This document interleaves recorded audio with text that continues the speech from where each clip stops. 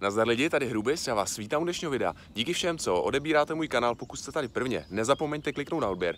Mrkněte mi taky na Instagram, jsou tam novinky, můžete se na to ptát, co vás zajímá. Já se to potom pokusím vrazit do videa, eh, odkaz tady máte pod videem a dneska se spolu mrkneme na novou A1, která je podle mě nejlepší Audi, na co si teďka můžete koupit. Tak jdem na ní.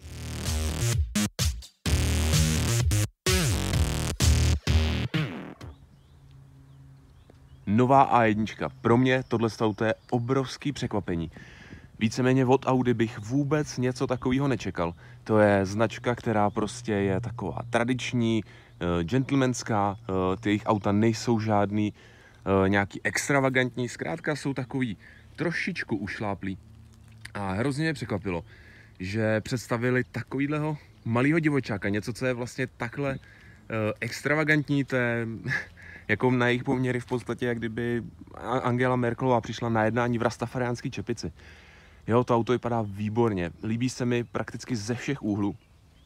Ten předek vzdáleně připomíná eh, R8, co se mi hodně líbí. Tak tyhle ty nasávací otvory, ty jsou samozřejmě falešný, ale na efekt dobrý, který připomínají asi nejlegendárnější auto, který Audi kdy vypustilo.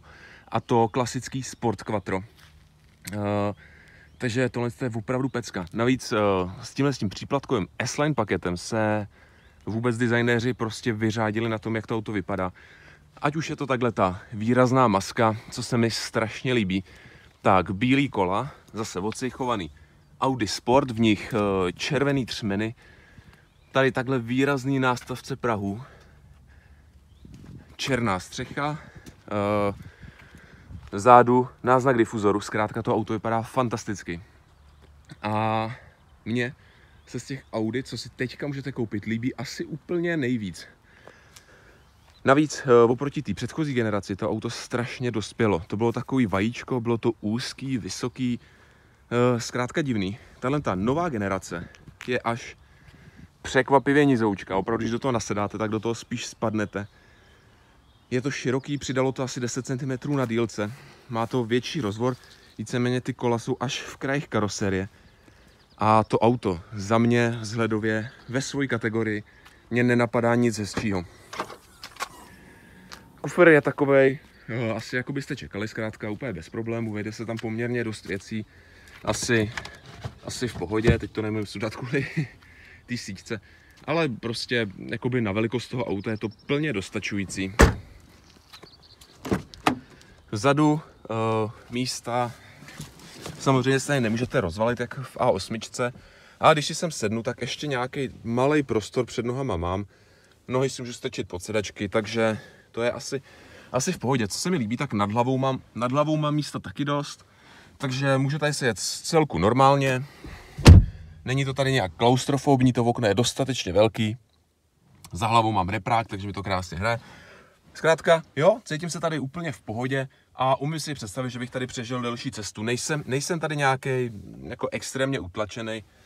Prostě úplně, úplně v pohodě, nemám s tím sebe menší problém. Tak, vepředu. Hodně se mi líbí sedačky.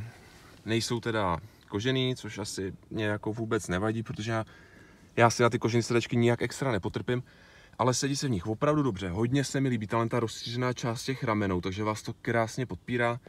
Dobrý boční vedení, který v zatáčkách fakt drží, je to tuhý. Dlouhý sedák. Zkrátka, uh, ty sedačky jsou výborný.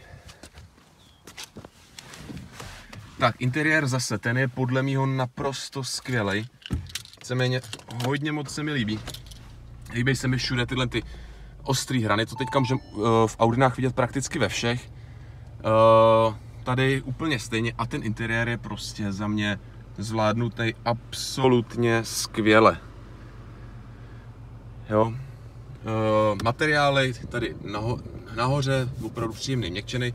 Jinak uh, pořád jsme v autě, jakoby v této třídě nemůžete čekat, že budete mít všude super prémium materiály, hliník, kůže a podobné nesmysly.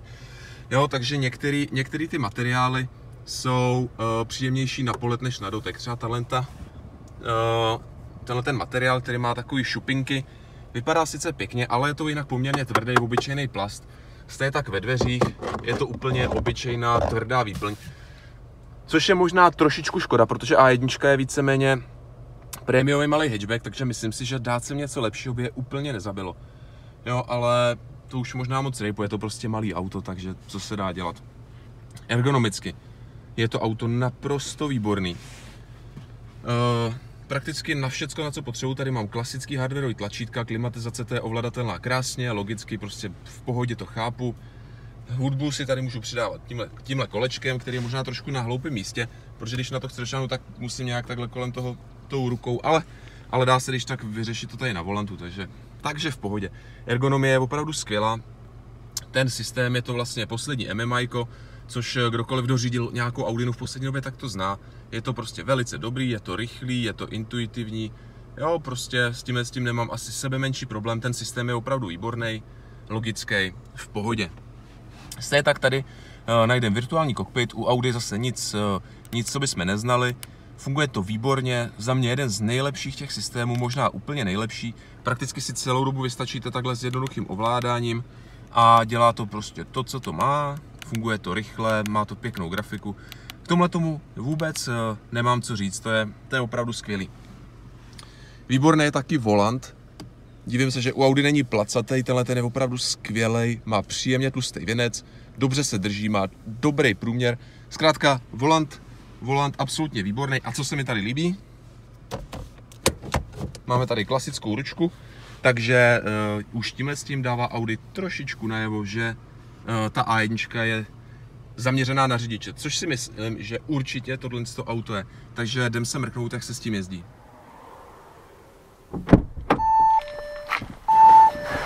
Tak, Audi A1, pro mě jedno velké překvapení. Uh, víceméně hlavně z toho důvodu, že tohle auto je hrozně málo Audi.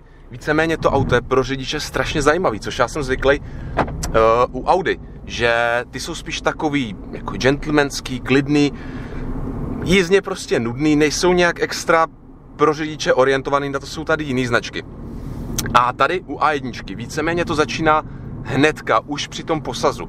Už přitom zjišťujete, že je něco trošku jinak a že to auto opravdu je zaměřené na řidiče. Vy sedíte vlastně úplně nízko, zadkem až na zemi, víceméně do toho auta spíš spadnete. Uh, nohy jsou trošičku natažnější, volant pěkně u těla a sedíte úplně jako sliný s tou kapotou. Takže už jenom ten posaz je takový sportovní. Hned z toho cítíte napojení na to auto, což je strašně příjemný. A je to takový uh, neaudinovský. Jo, je to opravdu zajímavý.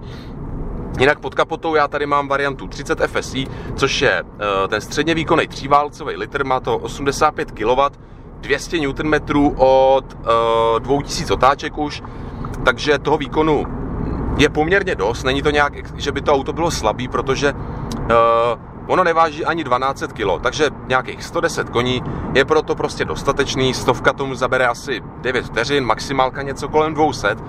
Jo, ono, podívejte se na to, jo, prostě není to pomalý auto.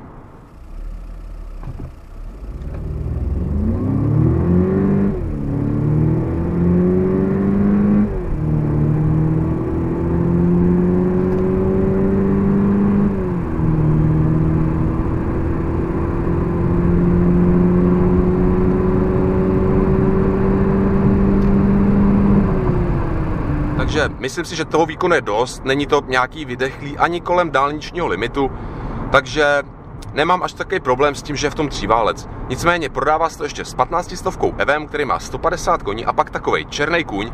Eh, dává se do toho 2 litr z GTIčkového pola, který má 200 koní. A myslím si, že s tím to auto už je opravdu hodně zajímavý. A už není ani žádný tajemství, Audi vlastně připravuje S1, která bude mít nějakých 180-190 kW a to pak bude teda brutální divočák. Ale zpátky tady k tomu litru, co tady máme. Výhoda toho motoru za prvý je extrémně lehký, takže na té přední nápravě vůbec necítíte žádnou váhu.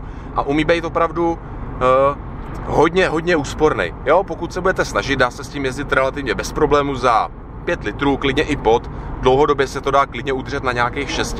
Jo, což je, což je opravdu zajímavý, na ten provoz je to fajn. Uh, Trošičku škoda je, že ten motor je trošku takovej jalovej. Jo, dole nic, pak najednou to má spoustu výkonu a k vršku zase vadne. V tomhle si myslím, že třeba ty francouzský tříválce, které se dávají do Peugeotu, do Oplu, do Citroenu, jsou poměrně lepší. Jo, ale žádný drama, ten motor není špatný. Jak říkám, výkonu to má dost, spotřeba je hodně příjemná. Spárovaný je se 7-stupňovým automatem, dvojspojkou, je to klasický DSG a to se povedlo nastavit opravdu dobře. Víceméně necuká to, což je na dvojspojku poměrně překvapení pro mě. Řadí to rychle, řadí to logicky, s tím motorem si to opravdu dobře rozumí.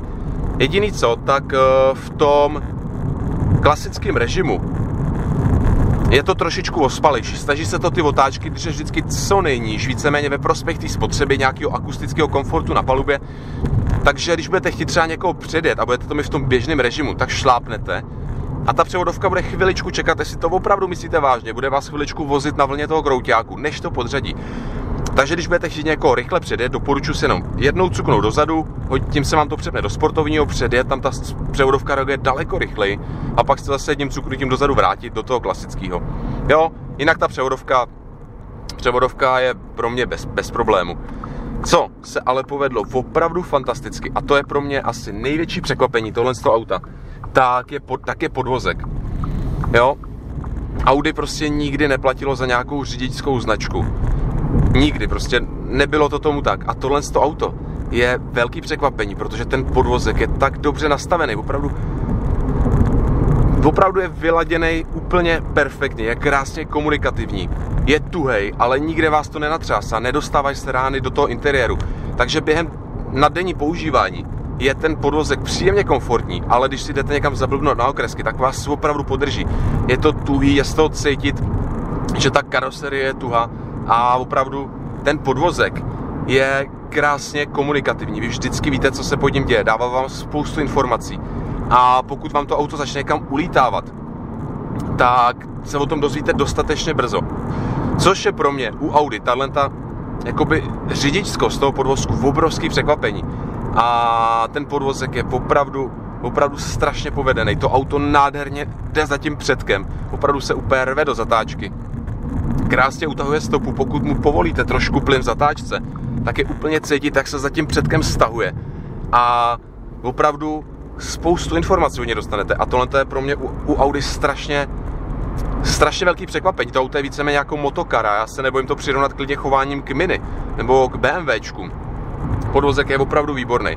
Stejně tak skvělý je řízení. A to pro mě bylo taky překvapení, protože všechny Audi, co jsem řídil, tak měli to řízení strašně přeposilovaný, mrtvý, bez informací, prostě, prostě nudný. A tahle A1 má to řízení nastavený opravdu výborně. Je to krásně citlivý, jde to za tím volantem, poslouchá ho to na něj. Ten posilovač má takovou ideální hmotnost a to auto se s tím vede strašně dobře. A můžete ho opravdu milimetrově přesně. Řízení, no, nařízení je tohle to pro mě možná nejzábavnější Audi, ve který jsem seděl Opravdu to auto na řízení je strašně zábavný a baví mě to. Přijde mi to takový ideál pro nějaký začínající řidiče, který se chtějí naučit rychlou jízdu, protože ten motor nemá nějaký extrémní výkon, že by vám to rvalo volant z ruky, že by vás to vystřelilo z zatáčky. Zkrátka, eh, ten výkon je strašně dobře kontrolovatelný. A co je důležitější, tak to auto s váma komunikuje skrze ten podvozek, takže vy přesně víte, co se děje. A perfektně by se na tom dalo naučit vnímat chování toho auta na limitu, protože tohle to auto je na limitu, je lehce za limitem, krásně čitelný a je to strašně příjemný. Opravdu, eh, pokud já bych byl začínající řidič a chtěl se naučit rychlou jízdu, naučit se vnímat auto, vnímat to chování na hranici, tak ta A1 je na to opravdu perfektní. Co se mi ještě strašně líbí, tak tady tlačítko Drive Select, kde máte nějaký přednastavený režimy, je tam víceméně efficiency, což je pro nejnižší spotřebu auto. Tam uh, to auto se snaží neustále přizpůsobovat tomu vašemu jízdnímu stylu a měnit od toho úsporného po sportovní. Funguje to celkem fajn. Potom je tady nějaký uh, režim Dynamic, kde to bere všecko do výkonu. A co se mi strašně moc líbí, tak je tady režim Individual, kde vy si můžete každý jeden komponent nastavit zvlášť zvlášť motor, zvlášť podvozek, zvlášť řízení, zvlášť uh, zvuk. Jo, tohle je fakt fajn, že si to nastavíte a můžete mít klidně nejpohodlnější podvozek, ale nejsportovnější motor a zůstane vám to tak, jo? To, je, to se mi opravdu strašně líbí. A co ještě taková blbůstka? Hodně kolegů si na to stěžovalo, že tohleto auto má hodně takový falešný zvuk, když to dáte do toho sportovního režimu. A já uznávám, že ten zvuk je trošičku přemotivovaný. Já vám to teďka zkusím dát poslechnout. Přepnu do toho dynamického režimu, převodovku hodím do sportu a doufám, že to uslyšíte. Teď, teď to poslechněte, jo.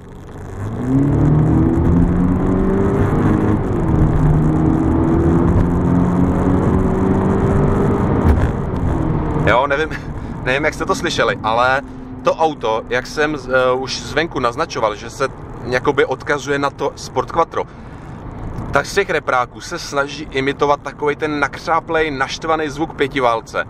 A neříkám, že se mu to nějak extra daří, jo, nezní to jako pětiválec, ale má to takový nasraný, nastekaný zvuk a byť vím, že je to falešný a u nějakého velkého vážného auta by mi to asi fakt vadilo, tak tohle auto je pro mě takový trošičku, takový maličký blázen a jako nevadí mi to, v podstatě se mi to líbí. Jo. Tak, teď teďka jdem se na ty slabší věci, protože zatím tu A1 strašně moc chválím a přiznávám, že se mi opravdu moc líbí. Ale jsou věci, které mi vadí. Tou první v rychlosti na kous jsem to. Je, je to motor. To auto, šasy, podvozek, řízení, strašně chce sportovat. Je v tom hodně velký potenciál na to, aby to auto bylo rychlý. Ale ten motor prostě nechce. Jo, ten motor sportovat nechce a nebude. Jo, ve spodu je mrtvý, kolem 2000 jakoby vám vyflusne všechen výkon a pak s otáčkama zase začíná vadnout. Takže vy ho k tomu sportování nějak nepřemluvíte a trošičku, trošičku to sráží ten potenciál toho auta. Uh, ty francouzský tříválce jsou v tomhle tom lepší a tenhle ten, jak říkám, je takový trošičku, trošičku jalovej. Jo? Další věc, co tohle auto sráží v mých očích úplně nejvíc, tak je prostě cena. Je to auto strašně baví. Já jsem ho hrozně chtěl mít nerad. Chtěl jsem ho nenávidět, ale za, zalíbilo se mi. Ale přes tu cenu prostě... Já to nemůžu zkousnout. Tohle to auto, ve kterém sedíme, samozřejmě je našpikovaný výbavou. Má to adaptivní podvozek, má to asistent jízdy v pruzích, to automatické parkování, adaptivní tempomat, já nevím, co všechno možný. Spoustu těch individualizačních prvků, černá střecha, bílý kola, to jsme si ukázali. Ale tohle to auto stojí přes milion. To je strašně moc na takhle maličký auto. Já vím, že to je prémiový hatchback a že Audi tohle to plánuje spíš jako pro zákazníky, kteří už mají doma A8 nebo něco takového a chtějí si pořídit ještě něco menšího do města nebo na dojíždění. Ale pořád je to strašně moc. Jo, když si to přepočítáte, tak vy za každého koně v tomhle autě zaplatíte přes 10 tisíc. To je brutální. Když si vezmete třeba BMW 140i, tak tam za jednoho koně zaplatíte 5 tisíc. V Hyundai i30N, OK, není to prémiovka, ale zaplatíte 2,5 tisíce. Jo, 10 tisíc na jednoho koně výkonu je hodnota podobně jako třeba má Lamborghini Huracan. Jo, takže ta cena, ta cena je fakt vysoká, jo, ale jestli, jestli, ty, jestli nemusíte řešit peníze, tak v této kategorii nekoupíte lepší auto, nekoupíte auto, který by líp jezdilo, líp vypadalo, jestli, jestli prostě na to máte, nenechte se tím, tím odradit, berte ho, je skvělý. Jestli na ty peníze trošičku koukáte, asi, asi možná radši kupte Ibizu nebo Polo. Ty auta nejsou moc horší a stojí polovinu. Jo, ta cena je opravdu jedin, jediná, jediná škoda. Jinak, abych to schrnul, to auto jezdí výborně. Pro mě je to strašný překvapení, že Audi postavilo auto, který takhle baví řidiče. Mě to fakt strašně baví s tím jezdit.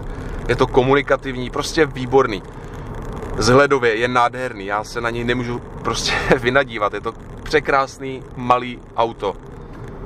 Jenom je prostě trošku drahý. Jo. Tím to asi uzavřu lidi. Tohle bude ode mě dneska všecko. Uvidíme se příští týden zase u nějakého auta. Mrkněte na Instagram, mrkněte na autožurnál, bude tam článek a mějte se zatím. Zdar!